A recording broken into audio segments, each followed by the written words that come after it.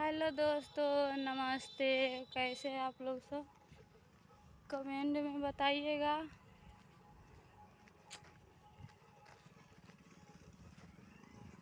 मेरा मेरा हाल तो बहुत, मेरा, हम तो बहुत अभी तकलीफ़ में दोस्तों। क्या बताएँ? कल गाड़ी के किस्ती वाला आए थे मेरे दूरा पर, बोल के गए किस्ती नहीं भरे।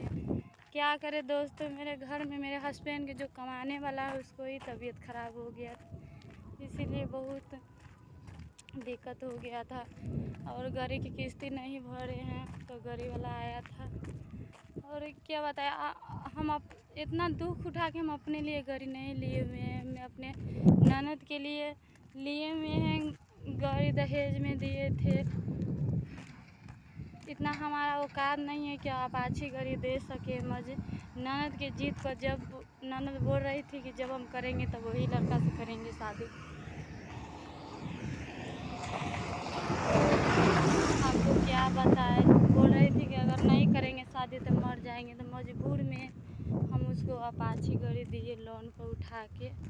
और आज गाड़ी वाला बोले कि अगर किस्ती नहीं भराएगा तो क्या कहते हैं, गरी उठा लेंगे। तो क्या मेरा इज़्ज़त रह जाएगा? गरी गरी, और गरी वाला गरी उठा लेगा तो बोलेगा, दहेज में दिया, गरी वाला गरी ले गया। तो देखिए दोस्तों, अपने ढोलना जिससे हमारा शादी हुआ है, वो आज हम बेचने जा रहे हैं। और पायल भी दिखा देंगे।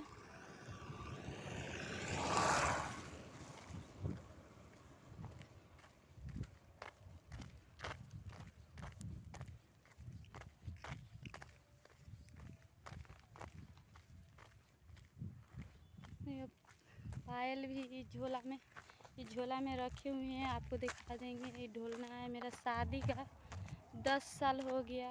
कभी कोई ऐसा तकलीफ़ आया है तो हम ढोलना नहीं बेचे। मुझे अपने हस्बैंड के चिन्हासी हमको बेचना पड़ता है। जितना हम मजबूर हो गए हैं दोस्तों। क्या बताए? कितना मजबूर है अंदर से मेरा आत्मा, मेरा दिल इतना रो रहा है कि इसको लिए कि हम कैसे इसको बेचें। मज बेचने के मन न हमको करता है। देखिए हम जा रहे हैं इसे बेचने के लिए। इतना हम तकलीफ़ में हैं तो आप लोग से मेरा दोस्त, मेरा फ्रेंड आप लोग से है। अपना तकलीफ़ आप ही लोग से के बता सकते हैं। आप ही लोग से समझ सकते हैं कि मेरा तकलीफ़ कोई नहीं दोस्त के सिवा कोई नहीं समझ सकता है। ये कितना उपाय किए हैं, इधर से उधर से कहीं नहीं हुआ है। वही एक, यही हमको बुझाया है। एक मेरी मम्मी दी थी शादी में पायल, दस ग्यारह साल हो गया शादी का। दी थी वो हमें अपने मम्मी के चिन्हा से पायल सोचे थे कभी नहीं बेचेंगे, ऐसा कोई भी दुख हो जाए, मज नहीं बेचेंगे।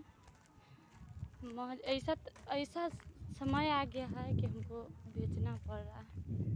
मज अपनी ननद के लिए, अगर मेरी ननद अभी ऐसा नहीं की रहती तो ऐसा नहीं होता। ननद के बोले कि जहाँ हम लड़का पसंद करते हैं वहाँ शादी कर लो तो नहीं की हमारा बात नहीं मानी। मजबूरी में क्या करें? करना ही पड़ा हमको। अब पायल भी दिखा देंगे आप लोग सके। बता रहे हैं, बहुत पुराना पायल है, ऐसा अच्छा उतना डिज़ाइन का नहीं है। हमारी मम्मी का चिन्हासी पायल है, देखिए। देखिए दोस्तों, मम्मी के चिन्हासी पायल ए और ए दोनों बेचेंगे और बेच के आज किस्ती भरेंगे।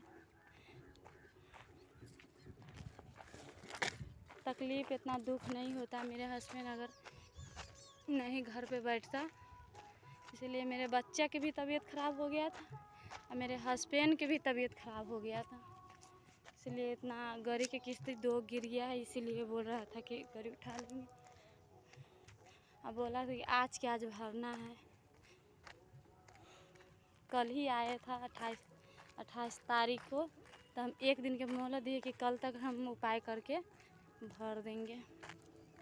अब जा रहे हैं। इधर चौक है मेरा, उसी चौक पर सोनार के यहाँ बेचेंगे दोस्तों। बाय दोस्तों।